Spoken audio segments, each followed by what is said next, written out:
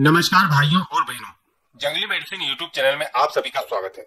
आज आपको एक ऐसी विचित्र और अद्भुत वनस्पति के बारे में बताने वाले हैं, जो शायद आपने कभी सोची नहीं होगी। यह बांदा एक दुर्लभ वनस्पति है, जो परजीवी पौधा होता है। यह पौधा ज़मीन पर नहीं उगता है, बल्कि यह किसी पेड़ पर उगता है।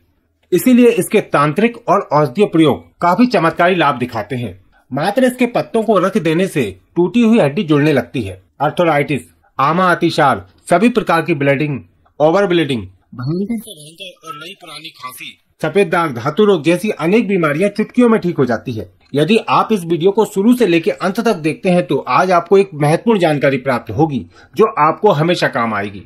सबसे पहले तो हम आपको इसकी पहचान करा देते हैं। यह बांदा का पेड़ है, जिसे आप पौधा भी कह सकते हैं, क्योंकि यह आकार में छोटा होता है। जैसे कि आप अभी देख रहे हैं, इस पेड़ पर पेड़ के बीचों बीच एक अन्य प्रकार का पौधा दिखाई दे रहा है। यही बांदा है। और ये बांदा एक परजीवी पौधा होता है जो ज़मीन पर न उग करके किसी अन्य पेड़ पर उगता है। यह बांदा किसी भी पेड़ पर लग सकता है। जैसे कि आप ये दूसरा पेड़ देख रहे हैं यहाँ पर भी इस पे बांदा लगा हुआ है लेकिन यह बांदा सबसे ऊपर लगा हुआ है। गर्मियों की ऋतु में जब पेड़ों से पत्ते झड़ने लगते हैं तब ये बांदा आसानी से दिखाई देने लगता है क्योंकि पेड़ के सारे पत्ते झड़ जाते हैं लेकिन ये बांदा अच्छे से फलता फूलता है। ये बांधा पेड़ के किसी भी हिस्से पर लग सकता है। और जहाँ पर भी ये लगता है, वहाँ पर एक गांठ जैसी बन जाती है। और ये गांठ के द्वारा ही जिस पेड़ पर यह आश्रित है, उसी से भोजन प्राप्त करता है और फलता फूलता है। इस पर इस तरह के लाल रंग के फूल लगते हैं। वैसे बांदा की कुछ प्रजातियाँ होती हैं, कुछ सफ़ेद फूल वाले बांदा भी होते हैं। बांदा की शाखाएँ पतली और लंबी होती हैं, जो नीचे की तरफ़ लटकी हुई होती हैं। इस पर इस तरह के पत्ते लगते हैं, जो कुछ मोटे होते हैं। बांदा के फूल और पत्ते तो आपने देख लिए हैं, इस पर फल भी लगते हैं। वैसे तो बांदा किसी भी पेड़ पर लग जाता है, लेकिन वनस्पति शास्त्र के अनुसार यदि यह पीपल का पेड़, बरगद, बेर, अनार, गूलर, नीम, आम, बिल्व आदि के पेड़ों पर लगता है तो चमत्कारी प्रभाव वाला हो जाता है। यदि इस बांधे को विशेष नक्षत्र और मुहूर्त में पूर्ण शास्त्रोक्त विधि से प्राप्त करके उपयोग किया जाए तो अनगिनत फ़ायदे उठाए जा सकते हैं। तांत्रिक प्रयोगों के अलावा इसके काफ़ी सारे ऐसे औषधीय प्रयोग भी हैं, जो बहुत ही ज़्यादा प्रभावशाली हैं। अब इस बांधा को भी अलग अलग क्षेत्रों में अलग अलग नाम से जाना पहचाना जाता है आपकी जानकारी बढ़ाने के लिए हम आपको इसके कुछ नाम बता देते हैं जैसे कि संस्कृत में इसको बंदा, बांदा वृक्षादानी बांदाक वृक्ष रूहा हिंदी में बंदा, बांदा, बांदाक, उर्दू में बांदा गुजराती में बंदो। तमिल में फुल्लरी तेलुगु में बादनिका, बंगाली में बरमांदा, पंजाबी में अमुट, नेपाली में एजेरू, मलयालम में इक्का कन्नारी और कन्नड़ में बन धूलू नाम से जाना पहचाना जाता है। और इसका वनस्पतिक नाम है डेंथ्रोपथिम फालकेटा अब आप भी हमें कमेंट करके बताएँ कि आप कौन से क्षेत्र में इसको क्या नाम से जानते हैं। यदि आप इसका कोई गुण जानते हैं तो वह भी नीचे कमेंट बॉक्स में बता सकते हैं।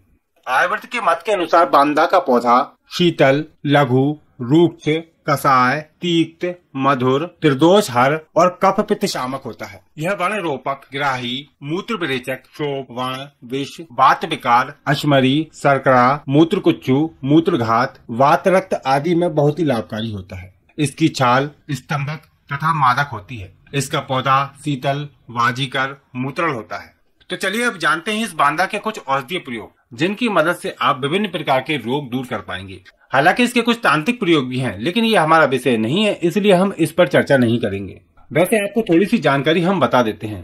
यदि आप इस बांदा की एक टहनी को विधि विधान से लाकर घर में रखते हैं तो घर में सकारात्मक ऊर्जा प्रभावित होती है। तिजोरी या फिर पैसे रखने वाली जगह पर यदि आप इसको रख देते हैं तो धन्य दान की वृद्धि होती है। जिन लोगों के घर में क्लेश बना रहता है, आपसी झगड़े होते हैं, वहाँ पर ये बांधा उन समस्याओं को दूर करता है, क्योंकि इस पेड़ में चुंबकीय गुण होते हैं।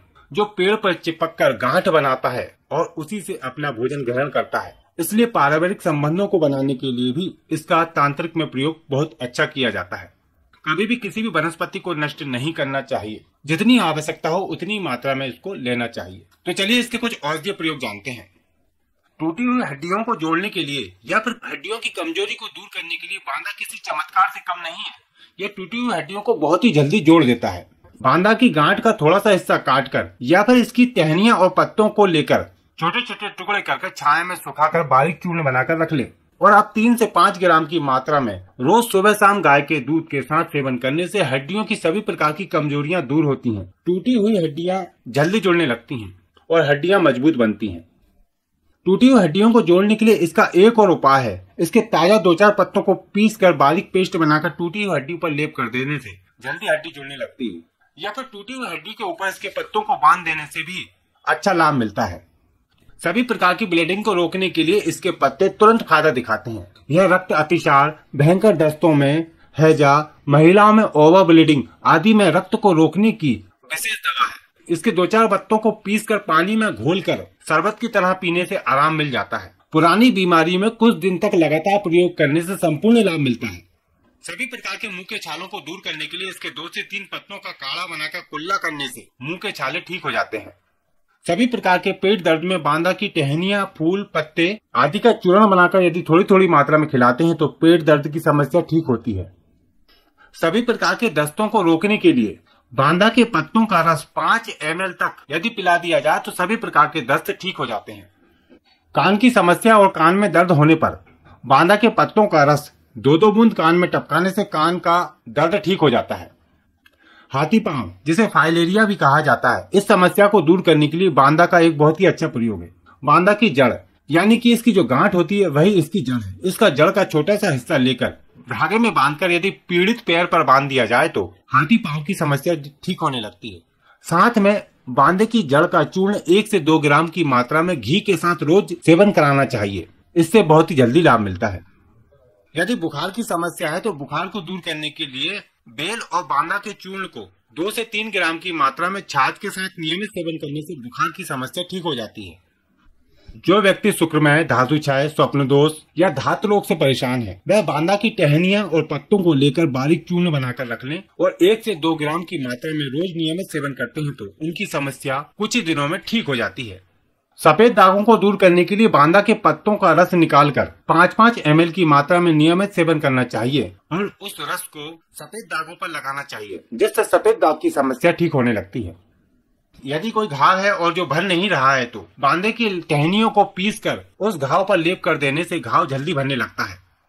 भयंकर से भयंकर नई पुरानी सभी प्रकार की खांसी को दूर करने के लिए बांदा के पत्तों को छाया में सुखाकर बारीक पाउडर बनाकर रख लें। और फिर दो से तीन ग्राम की मात्रा में शहद और अदरक का रस मिलाकर सुबह शाम चटाते हैं तो सभी प्रकार की खांसी ठीक हो जाती है। तो देखा आपने इस चमत्कारी बांदे के कितने सारे फ़ायदे हैं। वैसे तो यह बांदा किसी प्रकार का नुकसान नहीं करता है, यदि उचित मात्रा में इसका सेवन किया जाए तो। लेकिन मात्रा से अधिक सेवन करने पर यह आपको हानि भी पहुँचा सकता है। इसलिए अधिक मात्रा में इसका सेवन न करें, या फिर अपने वैद्य की सलाह अनुसार ही इसका उपयोग करें। आशा करते हैं कि जानकारी आपको पसंद आई होगी। यदि आप इस बांदा के बारे में कोई जानकारी रखते हैं तो नीचे कमेंट बॉक्स में ज़रूर बताएँ। हो सकता है कि आपकी दी हुई जानकारी किसी के काम आ जाए। वीडियो को लाइक कीजिए और सभी मित्रों के इस वीडियो को लाइक कीजिए और अपने मित्रों के साथ शेयर कीजिए। आपको फिर मिलते हैं एक नई जानकारी के साथ, एक नई वीडियो में। नमस्कार।